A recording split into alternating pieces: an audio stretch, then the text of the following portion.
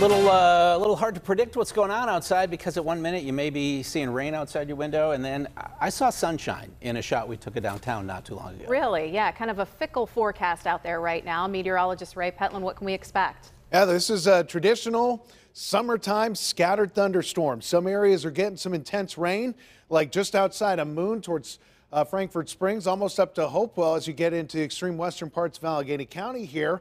This is going to continue to move eastward. Then you dry it up towards Bethel Park. But just down the road, North Strabane back to Cecil, we're starting to see some of that rain moving in, and that will take over Bethel Park. Upper St. Clair, moving out towards Elizabeth and McKeesport eventually.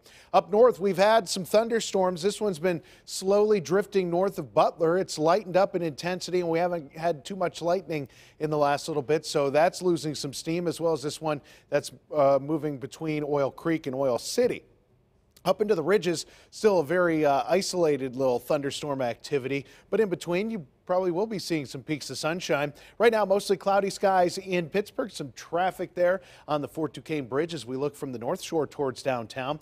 Scattered thunderstorms in the area, 76 degrees, a very high dew point. We have dew points in the 70s. That's typically about as muggy as it gets here, so it's very steamy outside.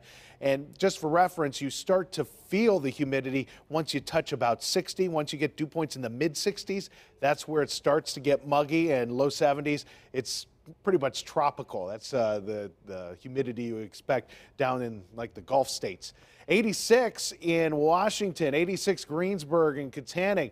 Temperatures in the upper 70s for Cranberry and Butler, Newcastle too. So there is some rain cooled air mixed in. So as that rain falls, we're going to see the, that uh, rain cooled air moving in. Greensburg, Indiana, Johnstown, still some showers and thunderstorms over the next couple hours. Tomorrow we'll wrap that up. Heat of the day. This is going to be over and over again. As soon as you get to the heat of the day, that's where you start to see more and more thunderstorms. Tonight, 68 degrees, mostly cloudy with scattered thunderstorms around, light and variable winds. Tomorrow, we're going to find those temperatures back into the mid 80s. Again, scattered rain and thunderstorms mainly during the warmest part of the day.